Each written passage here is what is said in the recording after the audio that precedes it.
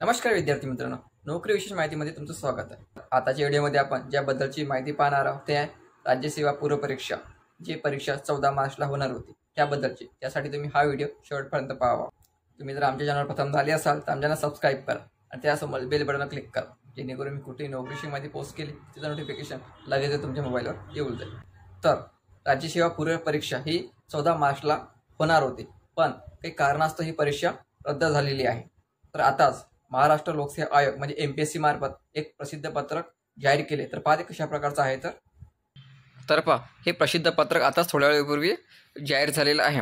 तर यामध्ये काय म्हटलं आहे पहा महाराष्ट्र लोकसेवा आयोगामार्फत रविवारी दिनांक चौदा मार्च दोन हजार एकवीस रोजी आयोजित राज्यसेवा पूरपरीक्षा दोन हजार वीसच्या आयोजनासंदर्भात शासनाच्या आपत्ती व्यवस्थापन प्रभाग व मदत व पुनर्वसन विभागाकडून दिनांक दहा मार्च दोन हजार एकवीस रोजीच्या पत्राद्वारे आयोगास खालीलप्रमाणे कळविण्यात आले आहे की म्हणजे हे जे आहे आयोगाला एक प्रमा प्रसिद्ध पत्रक जाहीर केलेलं आहे आणि यामध्ये तुमची जी चौदा मार्चला परीक्षा होणार होती त्याबद्दल त्यांनी एक प्रसिद्ध पत्रक हे जाहीर केलेलं आहे. आणि त्यामध्ये म्हटलं आहे की राज्यामध्ये कोरोना विषाणूचा प्रादुर्भाव मोठ्या प्रमाणात वाढत असल्यामुळे असल्याने त्या त्यावर प्रतिबंधात्मक उपाय म्हणून वेगवेगळ्या जिल्ह्याचे निर्बंध लावलेले आहे. या पार्श्वभूमीवर राज्यसेवा पूर्व परीक्षा घेणे योग्य नसल्याने सदर परीक्षा पुढे ढकलण्यात यावी. म्हणजे ही परीक्षा पत ही जी परीक्षा चौदा मार्चला होणार होती ही परीक्षा आता पुढे ढकलण्यात आलेली आहे.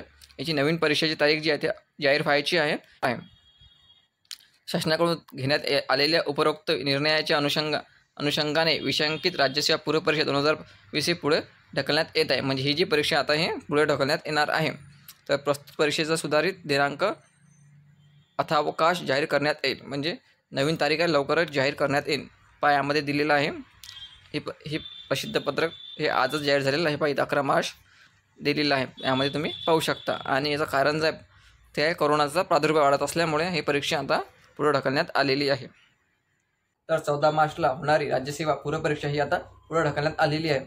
आता याचाच परिणाम येणारे अकरा एप्रिलला G P S I combine exam होणार आहे P S I S T I एसओची कंबाईनची जी परीक्षा होणार आहे त्या त्याच्या एक्झामवर पण होऊ शकते.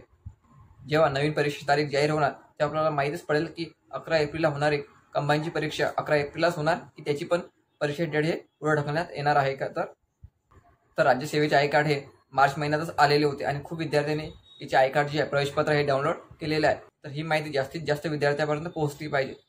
जेव्हा एम पी एस सी मार्फत नवीन वेळापत्रक जाहीर झाले तेव्हाच मी त्यावर व्हिडिओ बनवून तुम्हाला कळवेल. व्हिडिओ जर आवडला व्हिडिओ लाईक करा शेअर करा आणि आमच्या सबस्क्राईब करा. धन्यवाद.